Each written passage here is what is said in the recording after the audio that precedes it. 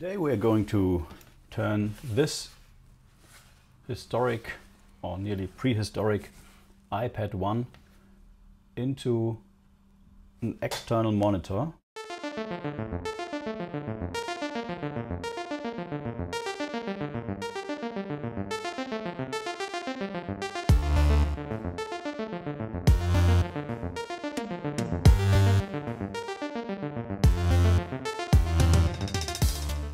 Battery died and I could simply switch out the battery but there's no point in that because iOS is not longer supported on this device and so it's pretty much nothing more than just a brick with a nice display.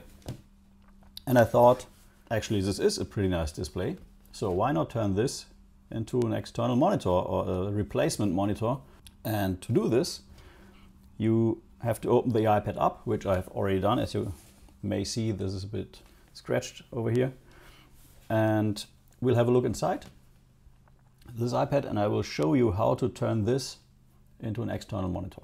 So first you have to cut with a knife around the edges of the iPad where the black line is as some kind of rubber seal which you have to break and then there are these plastic tabs which hold the top containing the um, display and the touch um, device inside the metal or aluminum shell. And I did that already and it's quite a lot of prying. You have to be very careful not to break the glass or the display. And once you have done that, you cannot simply lift all this up because here are quite some cables attached to the motherboard, which I've already loosened. See, this is plugged in over here. Down here are some. And if you do that, you can simply detach the computer or iPad device from the display. And the good thing is for the monitor to work, we don't need any of these components. This here is pure fun, disassembling an iPad and we get back to the main attraction, the screen. So if you turn the screen over, you can see a few things. This, I guess, is some kind of Wi-Fi antenna which runs around the screen. Um, you have this over here, which I guess, I don't remember if this thing has a camera. I guess it's, it's just a light sensor because it's an iPad 1. This is the touch assembly, so that touch surface above the screen. And to connect the screen itself and the backlight, you have this little port connector which con contains um, a little cable which I already took out. And I was a bit nervous about that because I didn't know if I would be able to get something called a driver board to drive this this whole display. So you can see these are very fiddly connectors which go in right here and there was just a little sticker over there to keep it in place. So to get this working we need one thing and that is to know which display this one here is. And I guess all the iPad ones um, do have an LP09 7X02 SLD6. That's the product number of this display. And if you know the display number, you can go on eBay or Amazon and order a board that replaces all the driving mechanisms, mechanisms inside the iPad itself. And that is just what I got here. So this is a driver board. And the main attraction is this whole assembly, which does provide a connector, which is exactly the same connector, hope, uh, thankfully, that came with the original iPad. So this is plugged in here. And you have this board with an uh, open interface. I don't know what this is for. And you get attached a, a board with some buttons for source selection, menu, power on off, and a um, power indicator. And all you have to do is two things. First, you have to connect this connector to this connector down here. And it's a bit tricky because it's very flat and the, the cables are very, very thin and very, very fiddly. So I will definitely provide some sticker for now to keep this in place. And you have to provide some kind of power source. And this power source does have to be 12 volts and it's center positive. You can plug it in here or you can plug it in here. And there's a description on the back side which tells you exactly which pin is which. And we have two grounds, two 12 volts, and I'm going to use a middle ground and 12 volts.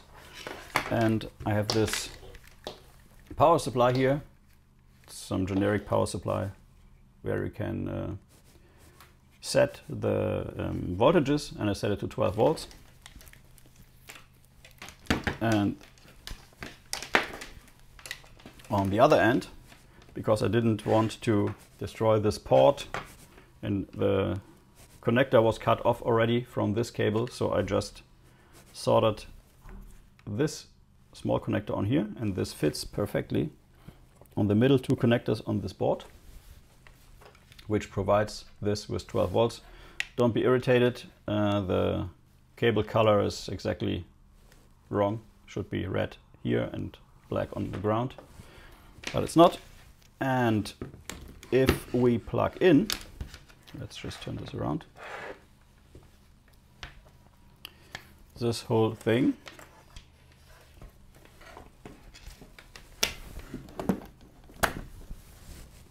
you can see this comes to life and it says no signal, which is pretty neat. And which better way to test if this genuinely, work, genuinely works or not than plugging in a C64, a mini that is, with an HDMI connection. And this board provides both HDMI, um, VGA and composite video like this. Oh, already came on. And I have the HDMI connection which goes in here. And bam. Got a perfectly working external display. Yeah, that's pretty much all there is to it. You can get an iPad 1 with a working screen for about 15 to 20 dollars or euros on eBay. The display port is uh, display board is 15 euros plus shipping from China, which is I guess three euros or dollars, depending on where you come from. So for about 30 to 40 bucks, you get a really really nice bright display. And the reason why I came up with this project is first I wanted to um, buy a 10 inch display to put into that suitcase computer that I'm going to turn into an Amiga or an C64.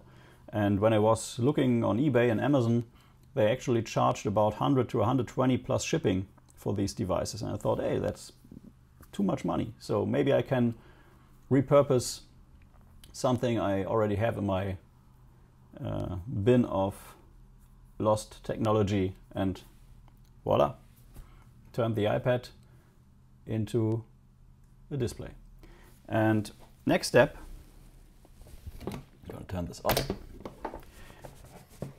would be to unscrew the display, which is here, from this whole assembly to make it even smaller. You can see the display itself is just this, and there's a lot of frame. And I will put this in a new frame and put this frame inside of this suitcase computer. So that is going to happen next. Yeah, that's pretty much it for today. Thanks for watching and I will put links to this driver board and the correct description of this driver board, the serial, serial no, not sorry, model number in the description of this video. Thanks for watching and until next time. Bye bye.